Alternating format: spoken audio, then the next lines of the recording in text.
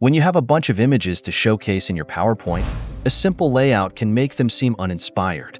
Why not try out this 3D image surround effect to instantly elevate your PPT? It's sure to catch your audience's eye and give your presentation a touch of sophistication. Creating this effect is a breeze. It involves a 3D model and text boxes. The 3D model is crafted using the user-friendly Paint 3D software that comes with Windows. Don't worry about learning a new tool. This software is straightforward to use. First off, if your image assets come in different sizes, it's best to crop them to a uniform size. I delve into the cropping technique in another video, which you can check out by clicking the link, but let's skip that step for now. Next, fire up the Paint 3D software and begin crafting a 3D image model. Simply copy a prepared image into Paint 3D. Select the image, then hit the Make 3D button in the right-hand menu bar. This transforms a 2D image into a 3D shape that you can spin around in 3D. Repeat this process for the other images, converting them all into 3D shapes.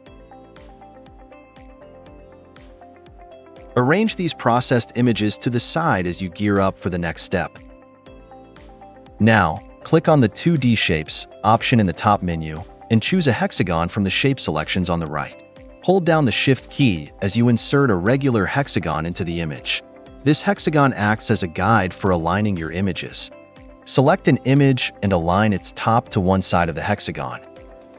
Rotate and align the next image to the next side.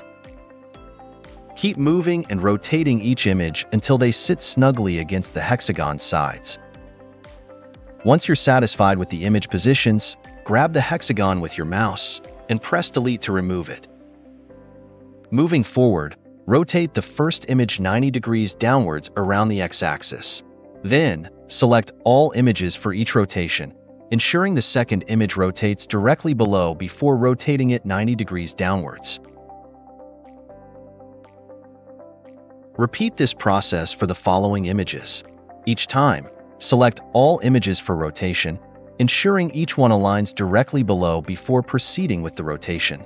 Finally, select all images and rotate them along the x-axis to the desired position. Fine-tune the rotation angles of each image for a neat arrangement. Voila! Your 3D model with images is ready. Save your completed project as a 3D model file using the menu options.